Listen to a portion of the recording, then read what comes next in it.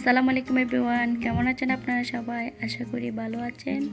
আমি আবারও চলে আসছি আরেকটি নতুন রেসিপি নিয়ে। আজকে আমি আপনাদেরকে বিরিয়ানি রান্না করে দেখাবো। এখানে আমি দুই কাপ পরিমাণে পেঁয়াজ কুচি নিয়েছি, গাজর কুচি, টমেটো কুচি, আলুকে ফালি করে কেটে নিয়েছি, কয়েকটি কাঁচামরিচ। মশলার মধ্যে নিয়েছি দুই টেবিল চামচ বিরিয়ানি মশলা। এক টেবিল চামচ ধনে গুঁড়ি, হাফ টেবিল চামচ গরম মশলা টেবিল চামচ মরিচের গুঁড়া, হাফ টেবিল চামচ হলুদের গুঁড়া, লবণ পরিমাণ মতন। জিরা পেস্ট নিয়েছি এক টেবিল চামচ, রসুন পেস্ট এক টেবিল চামচ, পেঁয়াজের পেস্ট চার টেবিল চামচ, টক দই তিন টেবিল চামচ, হাফ কেজি চিকেন নিয়েছি। একটি কড়াইয়ে পরিমাণ মতো তেল দিয়ে দিব। তেলগুলো হালকা গরম করে নিব। এর মধ্যে কিছু গোটা মশলা দিয়ে দিব। মশলাগুলো হালকা একটু ভেজে নিব। এর মধ্যে দিয়ে দিব অর্ধেক পরিমাণে পেঁয়াজ কুচি। বাকি অর্ধেক আমি রেখে দিব, পরে ইউজ করব।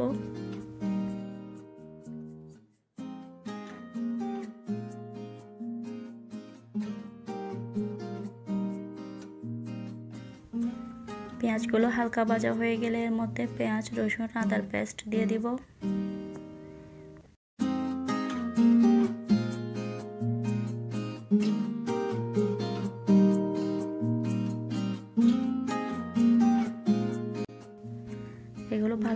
কষিয়ে নেব যাতে পেঁয়াজ, রসুন আদার কাঁচা গ্রানটা চলে যায়।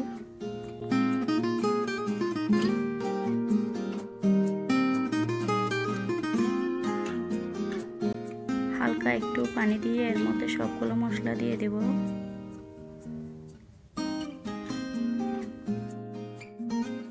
সবগুলো মশলা দিয়ে আমি দুই মিনিটের মতো কষিয়ে নেব।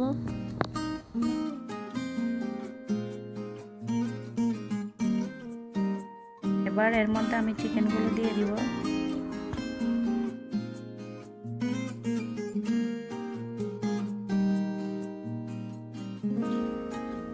একটু ভালোভাবে নেড়ে একটি ঢাকা দিয়ে দেব দু মিনিটের জন্য।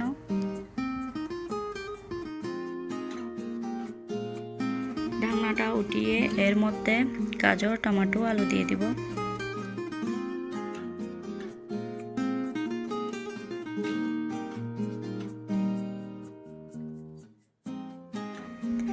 এগুলো ভালোভাবে একটু কষিয়ে নেব।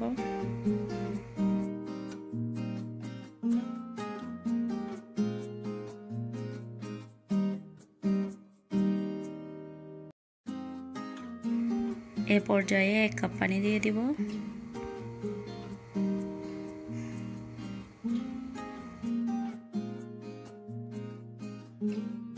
সবশেষে টক দই দিয়ে এক মিনিটের মতন রান্না করে নিব।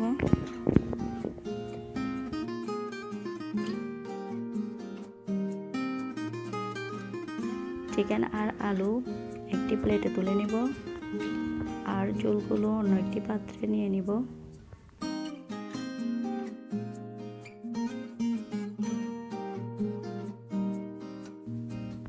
এবার পাত্রটিতে পরিমাণ মতো তেল দিয়ে বাকি পেঁয়াজ কুচিগুলো দিয়ে দিব।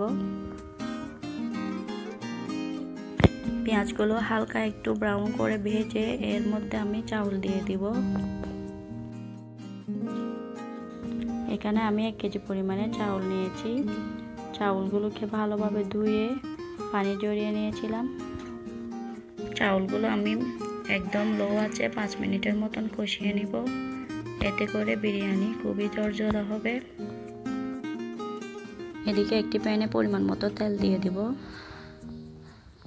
তেলগুলো হালকা একটু গরম হয়ে আসলে এর মধ্যে আমি চিকেনগুলো দিয়ে একটু হালকা ব্রাউন করে ভেজে নিব।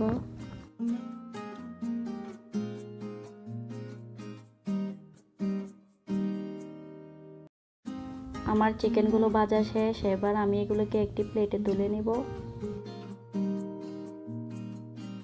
আলুগুলোকে হালকা ব্রাউন করে ভেজে নিব।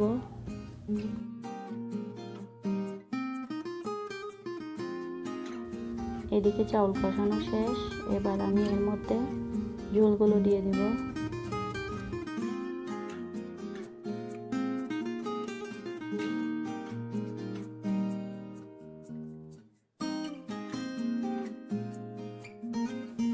চিকেন আর আলুগুলো দিয়ে দু কাপ পরিমাণে পানি দিয়ে দিব।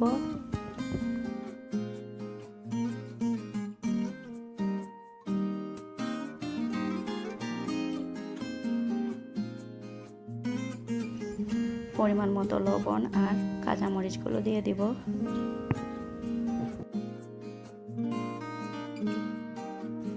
একটু ভালোভাবে নেড়ে একটি ঢাকা দিয়ে দিব তিন মিনিটের জন্য।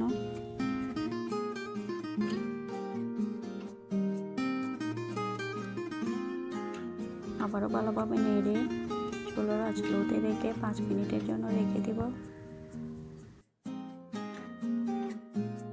ফিরে এলাম পাঁচ মিনিট পর, আমার বিরিয়ানি হয়ে গিয়েছে। এবার আমি এটিকে সার্ভ করব। যদি আমার ভিডিওটি ভালো লাগে, একটি লাইক দেবেন কমেন্ট করে জানাবেন এবং আমার চ্যানেলটি সাবস্ক্রাইব করবেন। আজকের মতো বিদায় জানাচ্ছি, আল্লাহ হাফেজ।